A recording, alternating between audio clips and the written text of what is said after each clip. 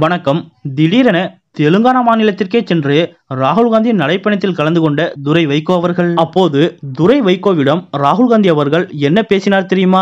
இதை பத்தின முழு விவரத்தோட இப்ப நம்ம பார்க்கலாம். இந்திய ஒற்றுமை நடைப்பயணம் மேற்கொண்டு வரும் ராகுல் காந்தி அவர்கள் தற்போது தெலுங்கானா மாநிலத்தில் தன்னுடைய ஒற்றுமை நடைப்பயணத்தை மேற்கொண்டு வருகிறார். இந்த நிலையில் நேற்று அதிகாலை தெலுங்கானாவில் ராகுல் காந்தியை சந்தித்து பேசியிருக்கிறார் மதிமுகவின் தலைமை கழக செயலாளர் துரை வைகோ அவர்கள். அப்போது துரை வைகோவை வாஞ்சையுடன் வரவேற்ற ராகுல் காந்தி அவர்கள் தனது பாத யாத்திரை நிகழ்விலும் அவரை கலந்து கொள்ள அழைப்பு விடுத்தார். அதன்படி சுமார் இருபது கிலோமீட்டர் தூரம் வரை ராகுலுடன் இணைந்து நடந்து சென்ற துரை வைகோ அவர்கள் பாஜகவின் மத அரசியல் பற்றி எடுத்து கூறி வேதனை தெரிவித்திருக்கிறார். துரை வைகோ அவர்கள் கூறிய விவகாரங்களை எல்லாம் விறுவிறுவென நடந்து கொண்டே மிகவும் கவனமாக கேட்டுக்கொண்ட ராகுல் காந்தி அவர்கள் பதிலுக்கு தமது கருத்துக்களையும் தெரிவித்தார். இதேபோல் துரை வைகோவை தன்னுடன் வந்த காங்கிரஸ் கட்சியின் முக்கிய நிர்வாகிகளுக்கு ராகுல் காந்தி அவர்கள் அறிமுகப்படுத்தியும் வைத்தார். இந்த சந்திப்பின் போது வைகோவின் உடல்நலம் பற்றியும் ராகுல் காந்தி அவர்கள் துரை வைகோவிடம் விசாரித்ததாகவும் கூறப்படுகிறது. இதில் குறிப்பிட வேண்டிய விஷயம் என்னவென்றால் ராகுலும் துரை வைகோ அவர்களும் பல நாட்களாக பழகித்திருந்த நண்பர்களைப் போல்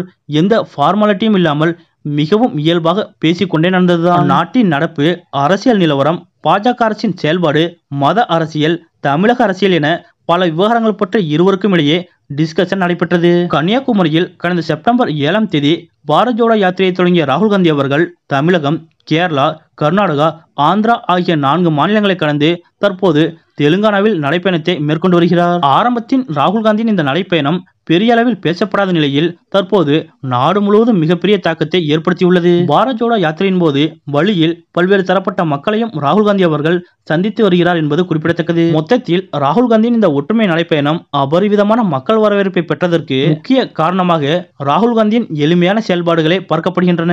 தெலுங்கானாவிற்கு சென்று ராகுல் காந்தியோடு கைகோர்த்த துரை வைகோ அவர்கள் பற்றியும் துரை வைகோவிடம் தன்னுடைய நண்பனை போல் பல்வேறு விஷயங்கள் குறித்து விவாதித்த ராகுல் காந்தி அவர்களின் இந்த செயல் பற்றியும் உங்களுடைய கருத்துக்கள் என்ன அப்படிங்கறத மறக்காம கமாண்ட்ல குறிப்பிடுங்க.